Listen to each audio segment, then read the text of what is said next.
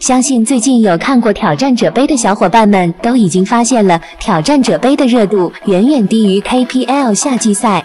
之前的 KPL 夏季赛，在一些平台的热度都有两三千万，人气队伍上场时更是有四五千万的热度。但到了挑战者杯时，一场比赛的热度却只有几百万，最多的时候也才一千多万热度，人气减少了一大半。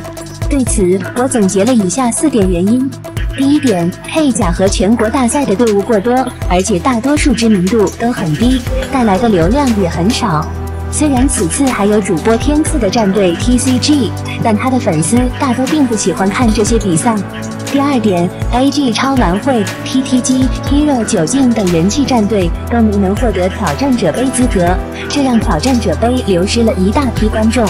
第三点，九月份是开学季，所有的学生群体都陆陆续续的上学去了，大部分时间都没法去观看比赛，只有周末或许才有时间看比赛。第四点，战队之间实力差距过大。虽然挑战者杯是个挑战强队的舞台，但大多数战队之间的实力差距过大，导致比赛没有太多的悬念。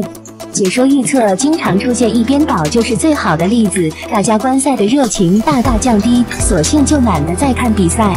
以上就是我总结的四大原因。如果你认为还有其他原因，欢迎补充哦。